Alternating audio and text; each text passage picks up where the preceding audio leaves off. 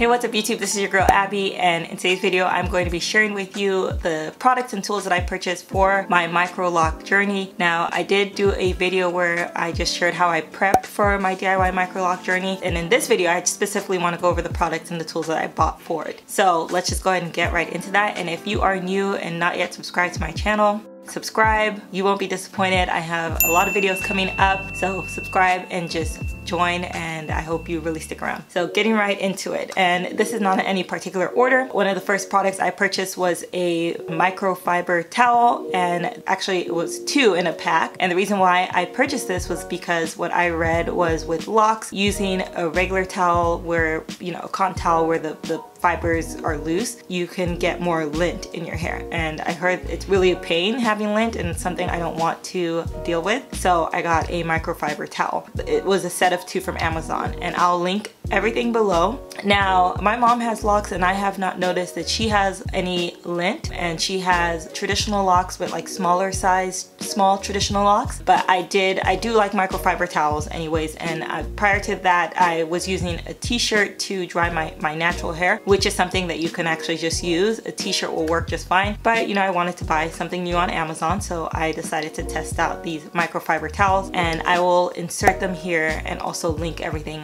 below. The next thing that I purchased is an oversized silk bonnet. Now oversized, maybe I'm thinking too far ahead. Obviously my hair, th these are tester locs that I have. I'm gonna redo them and actually install my hair, the micro locs smaller. But I just know with locs, I've seen how my mom's hair has matured. They get bigger and they get heavier and I just wanted to get a bigger bonnet. I wanted to get a bigger bonnet and I'm just go ahead, I'm thinking for the future and just being optimistic that my hair will get long and full with locs so I got this silk bonnet and I just read some good things about this, this brand and it's adjustable so you can actually adjust it. And I've been using it and it has not slipped off my head. It stays on and it's actually pretty comfortable and it's reversible. I think the brand is Yanni Best or Yanni Best. Could be saying it wrong, but I'll link it all below. Okay, the next things that I purchased are some Jamaican black castor oil.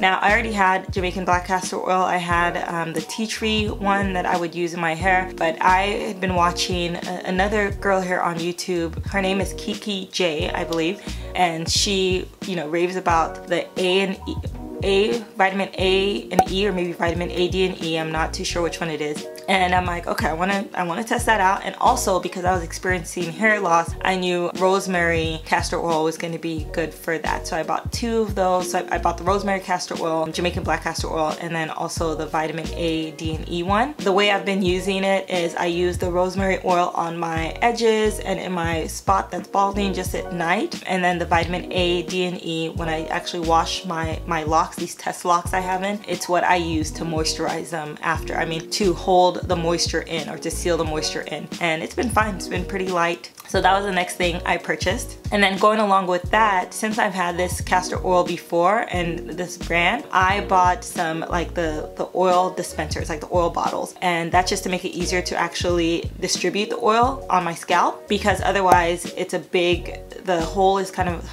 the bottleneck is a little bigger. I would have to pour it on my palm um, and I wanted to be able to just easily put it in. Now, unfortunately, when I purchased the, um, the bottles on Amazon, it was like a pack. Maybe it's 50 but it, it's a big pack. I'll, I'll, show it to you. But you know I'll use it. I'll, uh, right now so far I've only used two. But I wanted to have an easy way to distribute it and just make my life a little easier when I have my locs.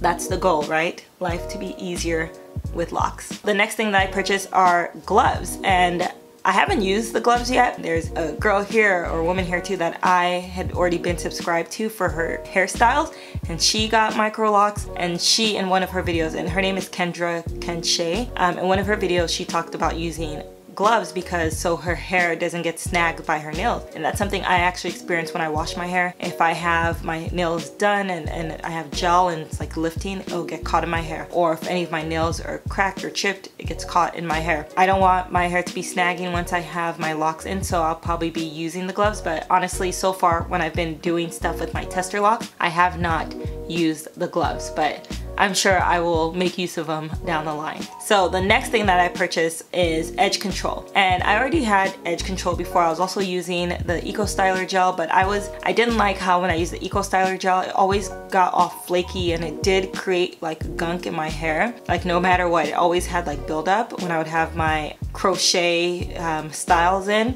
So I did some research and I actually found a channel here, I believe it's Keeping Up with China, and she did a video about the this edge control, I think it's called Edge Booster, that she used. And it's water-based. And I'm like that's great, I needed something water-based. So I tested it out, it's what I've been using, it's what I have on right now and you know it doesn't last as long as maybe some other edge control stuff. It does sometimes have after a while have like a white kind of look but it washes off easily and it has no buildup so I'm fine with it. Usually when I have my edges done it's gonna be for only a few hours or it's not it's gonna be in the evening or whatever it is. It's not gonna be an all-day thing. It's been working well so far. The next thing I, that I bought is a book called The Knotty Truth um, and I think I saw this from another channel here. I've watched a lot of micro loc channels and this one very, her channel is very educational. Queen Alim Queen Alim, I think her name is. And so she talked about how good the book was and I do like to read up on stuff. Now, unfortunately, I have not read the book yet, but I do plan to read it. I gotta get on it soon because I'm planning on starting my installation tomorrow. But just watching her videos and watching other people's videos, I kind of have a gist of what I'm, I'm going to do. But that is one of the things that I purchased. This book, I heard it's great. I need to read it. I'll probably spend all of tomorrow reading this book. Okay, so the next thing I purchased is a derma roller. It's for for I guess it's called, no, it's not, it can't be microblading. That's eyebrows, right? Anyways, it's a derma, derma roller and it's something that people use for hair loss. I recently suffered um, hair loss right here. I had hair loss on my edges from pregnancy, from postpartum. I saw videos of people growing their hair back using this derma roller. Now, I've been too chicken to use it because since it is like pins, kind of like little needles that you are pricking yourself with. The spot that I had um, the hair loss was really tender and I wanted to wait until my dermatologist appointment, which was this past week or last week, to ask the dermatologist what they thought if I should do it. And then I go to the appointment, I totally forgot to ask. So I haven't used it yet, but my spot is healing. It's not as tender, so I'll probably start using it once I have my locs installed. But I'll probably ask my doctor first and see what, what they say, just cause if you're gonna do it, make sure you, you research it, watch the YouTube videos. There's a lot of stuff about